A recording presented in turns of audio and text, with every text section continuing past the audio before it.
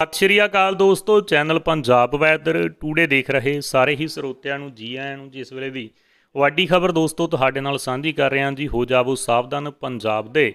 ਇਸ ਦਰਿਆ ਦੇ ਨਾਲ ਲੱਗਦੇ ਇਲਾਕਿਆਂ 'ਚ ਹੜ੍ਹਾਂ ਦਾ ਖਤਰਾ ਵੀਡੀਓ ਅੰਤ ਤੱਕ ਦੇਖ ਲਿਓ ਦੋਸਤੋ, ਤੁਹਾਨੂੰ ਪੂਰੀ ਖਬਰ ਦਾ ਪਤਾ ਲੱਗ ਜਾਏਗਾ। ਵੀਡੀਓ ਨੂੰ ਲਾਈਕ, ਚੈਨਲ ਨੂੰ ਸਬਸਕ੍ਰਾਈਬ ਅਤੇ ਵੀਡੀਓ ਨੂੰ ਵੱਧ ਤੋਂ ਵੱਧ ਸ਼ੇਅਰ ਕਰਨਾ ਨਾ ਭੁੱਲਿਓ। ਪੰਜਾਬ ਦੇ ਇਸ ਦਰਿਆ ਦੇ ਨਾਲ ਲੱਗਦੇ ਇਲਾਕਿਆਂ ਦੇ ਵਿੱਚ ਹੜ੍ਹਾਂ ਦਾ ਖਤਰਾ ਦੱਸਿਆ ਗਿਆ ਹੈ, ਜਿਸ ਬਾਰੇ ਅਲਰਟ ਜਾਰੀ ਕਰ ਦਿੱਤਾ ਗਿਆ ਹੈ। ਸਾਹਮਣੇ ਆਈ ਜਾਣਕਾਰੀ ਦੇ ਅਨੁਸਾਰ ਸਤਲੁਜ ਦਰਿਆ ਦੇ ਨਾਲ ਲੱਗਦੇ ਇਲਾਕਿਆਂ ਵਿੱਚ ਹੜ੍ਹਾਂ ਦਾ ਖਤਰਾ ਵੱਧ ਗਿਆ, ਜਿੱਥੇ ਸਤਲੁਜ ਦੇ ਕਿਨਾਰਿਆਂ ਤੇ ਵਸੇ ਪਿੰਡਾਂ ਦੇ ਲੋਕਾਂ ਨੂੰ ਸੁਰੱਖਿਅਤ ਰਹਿਣ ਵਾਸਤੇ ਅਲਰਟ ਜਾਰੀ ਕਰ ਦਿੱਤਾ ਗਿਆ ਹੈ।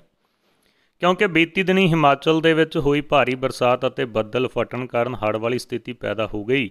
ਜਿਸ ਕਾਰਨ ਪੰਜਾਬ ਦੇ ਦਰਿਆਵਾਂ ਵਿੱਚ ਪਾਣੀ ਦਾ ਪੱਧਰ ਵਧਿਆ ਹੈ। ਉੱਥੇ ਹੀ ਸਤਲੁਜ ਦਰਿਆ ਦੇ ਵਿੱਚ ਪਾਣੀ ਦਾ ਪੱਧਰ ਵਧਣ ਦੇ ਕਾਰਨ ਅਜੇ ਕੰਟਰੋਲ ਰੇਖਾ ਤੋਂ ਹੇਠਾਂ ਵੇਖਿਆ ਜਾ ਰਿਹਾ, ਪਰ ਉਸ ਦੇ ਨਾਲ ਲੱਗਦੇ ਕਾਫੀ ਇਲਾਕਿਆਂ ਦੇ ਵਿੱਚ ਕਾਫੀ ਹੱਦ ਤੱਕ ਖਸਤਾ ਹਾਲਤ ਹੋਣ ਕਰਕੇ ਖਤਰਾ ਵੱਧ ਦਿਖਾਈ ਦੇ ਰਿਹਾ। ਫਿਰੋਜ਼ਪੁਰ ਦੇ ਵਿੱਚ ਸਤਲੁਜ ਦਰਿਆ ਦੇ ਧੁੱਸੀ ਬੰਨ ਉੱਪਰ ਪੁਖਤਾ ਇੰਤਜ਼ਾਮ ਨਹੀਂ ਕੀਤੇ ਗਏ।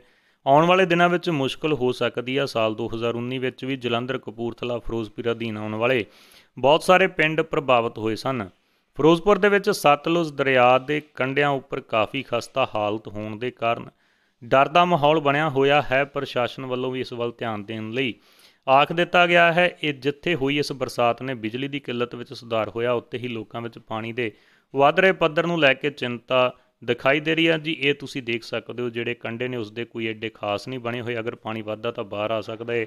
ਟੁੱਟੇ ਹੋਏ ਕੰਡੇ ਤਸਵੀਰਾਂ ਸਾਫ਼ ਦਿਖਾਈ ਦੇ ਰਹੀਆਂ ਨੇ। ਸੋ ਜ਼ਿਆਦਾ ਤੋਂ ਜ਼ਿਆਦਾ ਵੀਡੀਓ ਨੂੰ ਸ਼ੇਅਰ ਕਰੋ।